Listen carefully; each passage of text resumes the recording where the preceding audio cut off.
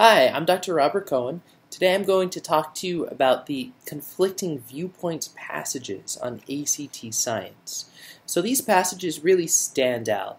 They're very different from the other types of passages. They have no data, no charts, no graphs.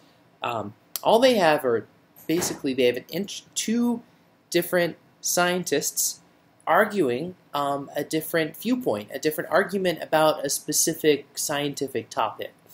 So you're given an introduction, then you're given given scientist one's argument, and then scientist two's argument, both of which are clearly labeled and they follow one after the next. There's also usually seven questions for this type of passage, as opposed to the typical five or six. So there's a really easy, uh, really easy shortcut on these passages, and that is that the scientist one and scientist two's argument are to- they're present the way they're structured they are totally parallel.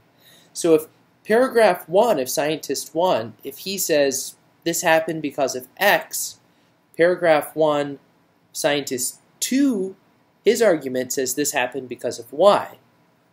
Paragraph two of each are going to talk about the same thing.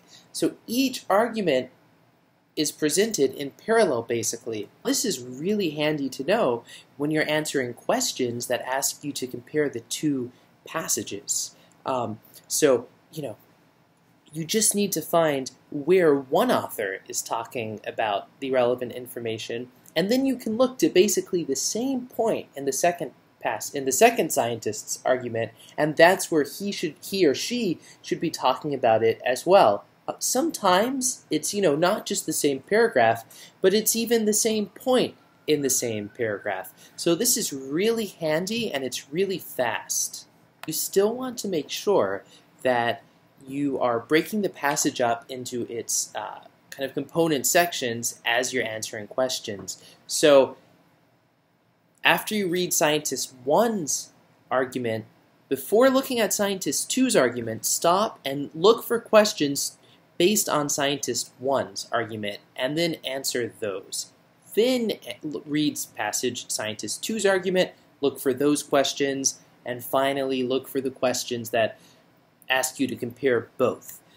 Now, on these on conflicting viewpoints passages, there are, are often questions about the introduction because the introduction can be um, kind of lengthy. So even as soon as you finish the intro, stop and look for questions based on the intro. Also, a really good idea to, after you finish reading each scientist's viewpoint, take a take a few seconds to jot down in just a couple of words the basic idea or argument of each scientist. This will come really in handy when it comes time to uh, compare the two viewpoints for the comparison questions. But again, when you're facing a question asking you to compare the two passages, make sure to use this parallel structure shortcut.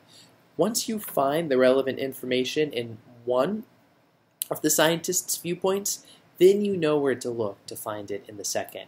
This will save you a lot of time, and it'll help you pick up a lot of points. Thanks for watching, and if you found this video helpful, uh, please like it, uh, subscribe to the channel, or share the video, which will help me reach more people looking for this type of help.